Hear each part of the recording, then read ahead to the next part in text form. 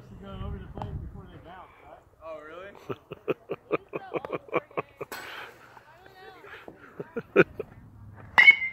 That's a rope.